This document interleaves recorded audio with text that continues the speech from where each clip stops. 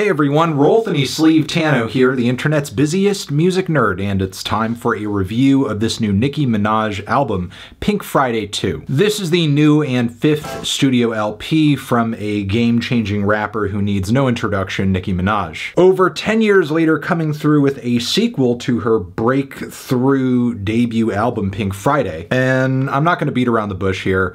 Uh, right now, artistically, Nicki is not in the best place, and this record is pretty much the proof. Not only is this thing an unfocused mess, loaded with generic, soulless, sometimes unfinished songs, but after corralling together this ragtag bunch of tracks, some of which have been out for about a year, Nicki has the audacity to name it after her most classic and influential album, which only makes it even more apparent how little she has to offer on this LP. Now, I know some of the production on the original Pink Friday hasn't aged perfectly. Some of the synths and club-centric beats uh, feel very much stuck in 2010, but there's still a lot of influential and timeless stuff about that record too. The album really had something to it between its futuristic, aspirational, super glitzy pop and rap hybrids. Not not to mention how expressive, wild, and over-the-top Nicki's delivery was at the time. Though Nikki certainly came into the game with her influences, I wouldn't say there was another album out that was exactly like it at the time, and there hasn't quite been another like it since, even despite the fact that there is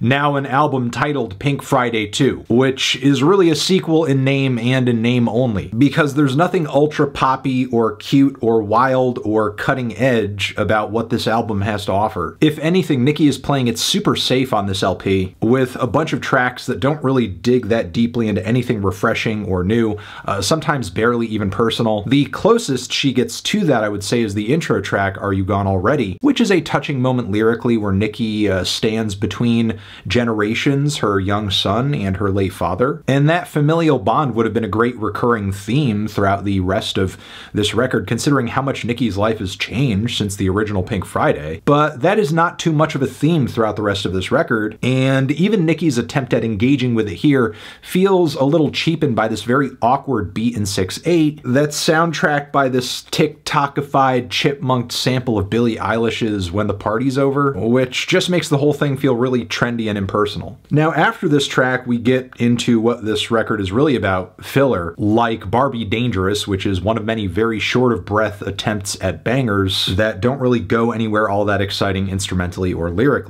But seriously, what is this track and what is the point of it? Nicki Minaj is not some meme rapper dropping a random freestyle masquerading as a full song so that it can go kind of viral on the clock app. She is a seasoned rapper who has written multiple verses and parts for many fantastic songs with strong hooks as well. She is really just punching under her weight on this one and many other tracks too, like on the even shorter Beep Beep or the bland and oversaturated Pink Birthday or on Bomb Bomb, where she is spinning one forgettable one-liner after another over these very quirky loops on a trap beat until the song just fades out because it has nowhere to go. It just feels like trap wallpaper or rap caviar ear candy meant to just kind of like fill the space. And frankly, given Nicki's vocal talent, her lyrical talent, she could do much better. And even when Nicki is kind of going the distance on some of these tracks, I wouldn't exactly call them barred up, like Big Difference, for example, where I think the instrumental on this one does the bulk of the work. There's also Red Ruby the Sleaze, which is one of the few attempts on this record at uh,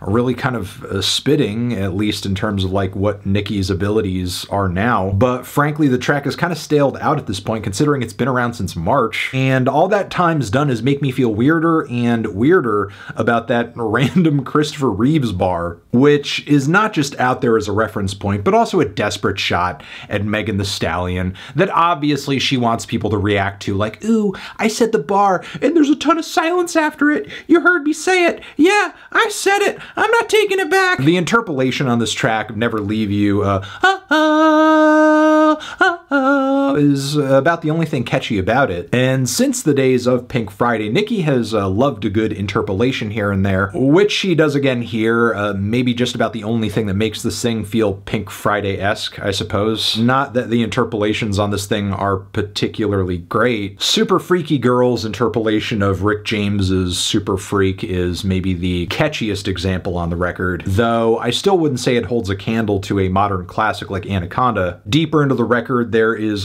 also a Pink Friday Girls, which uh, brings to the table the chorus from Cyndi Lauper's Girls Just Want to Have Fun.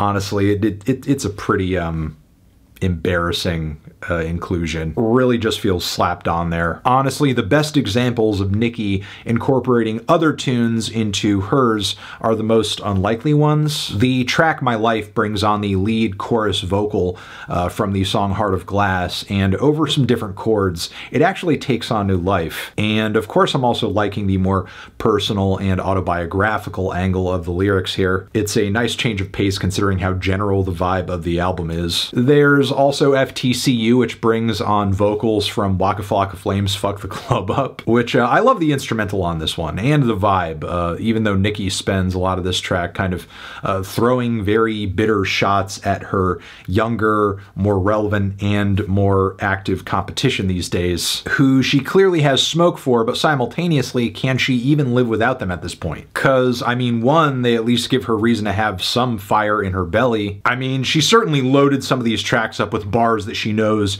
people will take away as Meg disses. And two, frankly, if it wasn't for artists like Doja Cat, for example, uh, popularizing these very buttery, smooth, bland, spacey, ultra feminine trap ballads, uh, would Nicki even have inspiration for at least a few of the tracks on this thing? Like Blessings, which is kind of a random attempt at a Christian rap song, a Christian trap song, and also the very lovey-dovey Nicki Hendrix featuring Future, who unintentionally sounds hilarious trying to sing in his lower register at the start of the song. There are a few Trinidadian grooves here and there that aren't too bad, though one of them does bring Drake to the table as if he's still stuck in his one dance era. There's kind of more life in the song Everybody featuring Lil Uzi Vert, which brings uh, one of these Philly club, Jersey club grooves to the table, which uh, Uzi Vert is pretty much known for at this point. The track actually ends up being loaded with all these super chaotic booty house type samples flying in every direction, and it's hype as hell and maybe my favorite track here, even if it's not one of Nicki's most lyrical moments. There are also a few rap and pop fusions to be had, but they are very dull and pristine, kind of lacking in the bright colors and vibrance that we uh, know Pink Friday for, like on Last Time I Saw You, as well as Cowgirl, where I think Nicki couldn't possibly sound more tame. Meanwhile, R&B brings one of the tackiest and most cringe verses of her career to the table,